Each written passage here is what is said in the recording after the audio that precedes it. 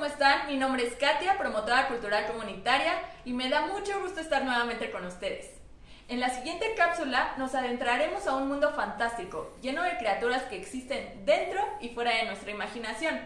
Te invito a que juntos y juntas descubramos a estos seres y, por qué no, realizar los nuestros. ¿Me acompañas?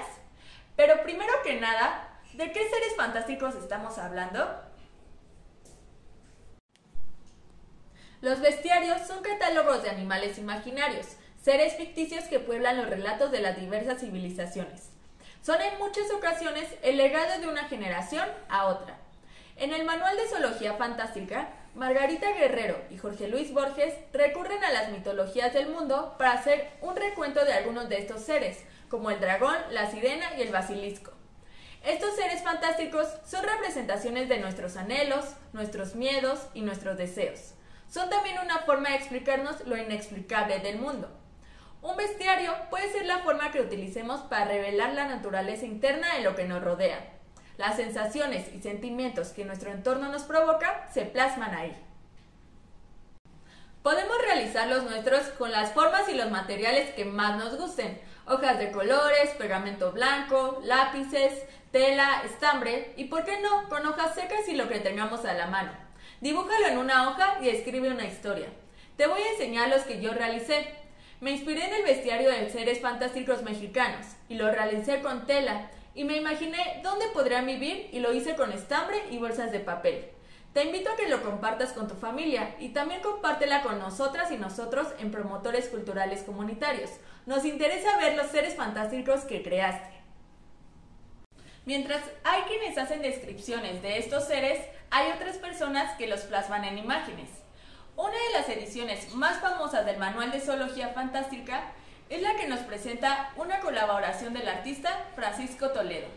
Toledo fue un artista de Juchitán, Oaxaca, mundialmente conocido por sus pinturas, dibujos y grabados de fauna, como sapos, insectos, murciélagos, entre otros. Creó un universo personal a través de todos estos seres influidos de manera importante por el contexto de su ciudad natal. Parte importante y característica de su obra fueron los colores que utilizó. Así también, al crear los bestiarios, las palabras que utilizamos o los dibujos, el hecho de ponerles alas o tres patas o colas de dragón con garras, habla de nuestra experiencia en medio de lo que nos rodea. Como puedes ver, podemos tomar prestadas imágenes de artistas para realizar las nuestras. En este caso, utilicé la imagen de Rufino Tamayo con su obra del perro aullando. Te invito a que busques más imágenes de otros artistas o, por qué no, a que hagas pinturas con todos los materiales que puedas encontrar en tu casa. De universos propios pueden asentarse en el imaginario de un grupo y si su uso se alienta, se puede convertir en la marca cultural característica de este. Esto es lo que ha sucedido en el municipio de Tenango de Doria, en el estado de Hidalgo, parte de la Sierra Otomí. En este lugar se crean algunos de los bordados más impresionantes, tanto por la utilización de los colores como por las formas de la flora y fauna que representan. Inspirados en pinturas rupestres cercanas al poblado, donde aún se pueden distinguir figuras de gallos, perros y venados, los habitantes de Tenango han dejado desbordar su imaginación sobre los lienzos, creando una mitología que es reconocida en todo el mundo. Es de esta forma que los universos que tal vez en algún momento fueron personales se convierten en el legado de un grupo y forman un universo más grande y vasto de aquel que le dio origen. Recuerda compartirlo con nosotras y nosotros en Promotores Culturales Comunitarios.